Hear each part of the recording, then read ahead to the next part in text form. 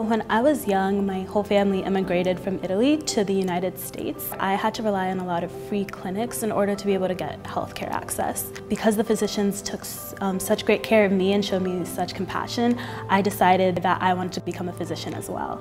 I am currently in the Barnard Summer Research Institute and I am studying aggression in betta fish. We are essentially trying to map out a circuit of aggression in the brain that responds to visual threats. We use a virtual fish in which male fish perceive them as a threat and they start to show signs of aggression. By getting a greater understanding of how aggression works in fish, we are able to gain insights into how aggression works in humans. The research that Magdalen does helps her to gain skills, but it's also a huge contribution to a field of science that is beginning to have a more focused approach on different aspects of disorders like autism.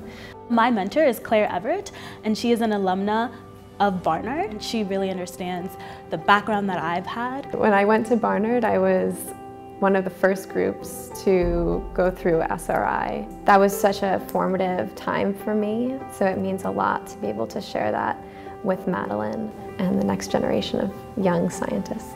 She's also like a role model for me because I can kind of see myself in like a few years doing the same thing that she's doing. I think having the number of women that we have in the lab really helps young scientists see that it's a possibility. I have learned that I can be African American, I can be a woman of color, and I can work in a lab, and I can present my research and show that it's important and that it matters.